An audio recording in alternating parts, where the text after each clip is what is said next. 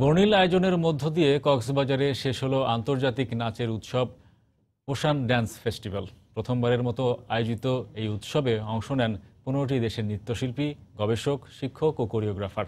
World dance alliance Asia প্যাসিফিকের Bangladesh শাখা নৃত্যযোগ আয়োজিত উৎসবের বিষয়বস্তু ছিল দূরত্বের সেতুবন্ধন। সুজাউদ্দিন রুবেলের তথ্য ও মোহাম্মদ ফরাজের ছবি নিয়ে রিপোর্ট।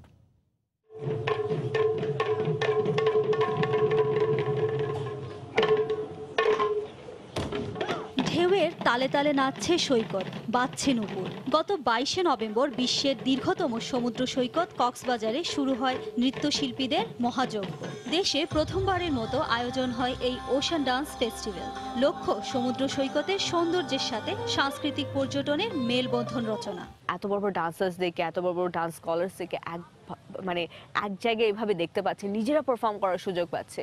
এটা তো আমি বলব যে আমাদের কাছে একটা বিশাল প্রাপ্তি। বাংলাদেশি যারা অংশগ্রহণকারী আছেন এখানে তাদের জন্য এটা বিশাল বড় সুযোগ। এত আনন্দ হচ্ছে উৎসব হচ্ছে এটা আসলে আমরা যখন করব করব বলেছিলাম ভাবতেই পাইনি যে এরকম হবে। প্রতিদিন সন্ধ্যায় কক্সবাজার কার্নিভালে ছিল নির্বাচিত তারকা শিল্পী ও প্রতিশ্রুতিশীল তরুণ শিল্পীদের পরিবেশনা। খ্যাতিমান শিল্পীদের একক প্রযোজনার পাশাপাশি দুটি ছড়িয়েছে যৌথ পরিবেশনাও যা দেখে মুগ্ধ পর্যটক ও স্থানীয়রা। আমরা তাদের কালচার সম্পর্কেও জানতে পারব তারা আমাদের কালচার সম্পর্কে জানতে পারবে। আন্তর্জাতিক মানের আরও হোক প্রতি বছর হোক এবং বছর কি বছর হোক। সাংস্কৃতিক চর্চাতে শহরে আমরা খুব কমই দেখি। তো এত বড় একটা ফেস্টিভ্যাল কক্সবাজারে এটা খুবই ভালো লাগছে। এই ধরনের প্রোগ্রাম আরও বেশি হওয়া উচিত। আমরা যেভাবে এনজয় করছি লোকালরা সত্যি চমৎকার আয়োজন।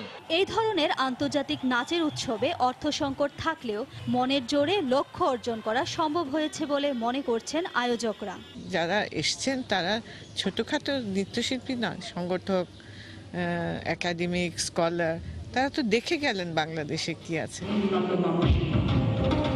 এশিয়ার পনেরোটি দেশের দু শতাধিক নৃত্যশিল্পী, শিক্ষক, গবেষক ও কোরিওগ্রাফারের অংশগ্রহণে চার দিনের এই উৎসব শেষ হলো সোমবার রাতে। সময় সংবাদ, কক্সবাজার।